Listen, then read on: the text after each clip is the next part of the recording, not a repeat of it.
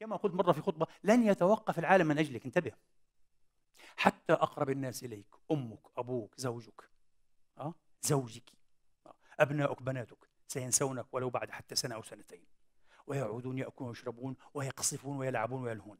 اعمل لنفسك. والله الذي لا إله إلا هو. العاقل هو الذي يعمل لنفسه.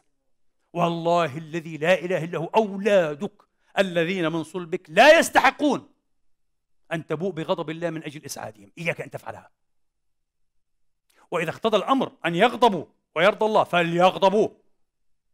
قبل أيام أسمع عن رجل مليونير في سوريا. ترك لأولاده ضياعا لا يعلمها إلا الله. بالملايين إلا بكم بمئات الملايين. حين احتفروا له حفرته لحده كان رجلا طوالا فيما يبدو. قصرت الحفرة. فقالوا أيه؟ فيعني نخرجه ثم نعيد الحفر. يعني عشر دقائق. أولاده قالوا لا لا لا اطعجوه أولاده.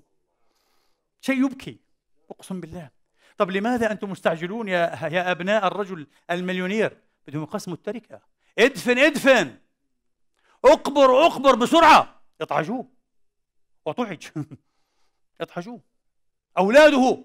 حتى الناس سقط في أيديهم. اطعجوه. هذا جزاء أبيكم خلي أمواله وضياعه وملايينه تنفعه عند الله. خلها تنفعه عند الله. لكن أسأل الله ألا يكون قصر في زكاته وفي نفقته. والقضية مش بس زكاة.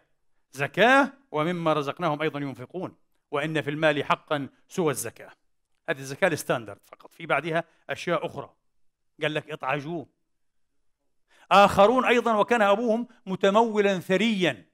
وترك لهم إيه؟ الكثير الكثير والوفير الغزير كفنوه بقطعتين فقال لهم متفقه ثلاثة السنة قالوا الحي أولى من الميت. أيضا في سوريا. وقديش القطعة الثالثة يعني؟ 2 يورو؟ نحن أولى بها. الله أكبر. لو عاد إلى الدنيا سيقول لهم الأف عليكم والتف. هاتوا أموالي سأجعلها لله. لكن راحت عليك صح؟